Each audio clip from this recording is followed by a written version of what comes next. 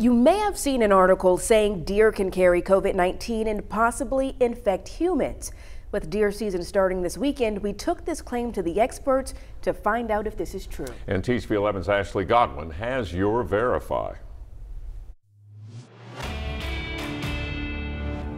A recent article by NPR says new evidence shows that SARS-CoV-2 spreads explosively in American white-tailed deer, suggesting the animals could carry the virus indefinitely and spread it back to humans periodically.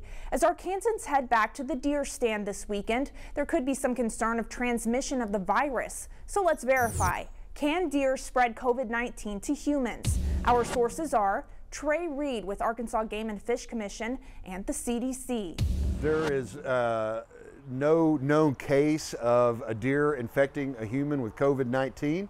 Deer can be carriers of the virus just like several other species, including cats, monkeys, and mink. Research shows that these animals probably got it from humans. So the thought is that uh, perhaps uh, that is one way that uh, human, you know, in, in these dense urban areas where the deer were being removed from, there were there was enough, uh, you know, COVID-19 transmission to occur between uh, humans uh, to deer. The CDC says there is no evidence that animals play a significant role in spreading SARS-CoV-2 to people, but it is more likely animals become positive with the virus from close contact with humans. There's no evidence that, that humans could, could get uh, COVID from uh, eating uh, deer either. So no, there's no reason to worry that deer will give you COVID-19. It's more likely the deer will get SARS-CoV-2 from another positive animal or humans. For your Verify, I'm Ashley Godwin.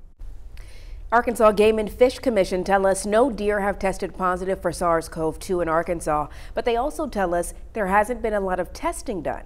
As for COVID-19 symptoms in deer, they say the animals don't seem to show symptoms like humans do.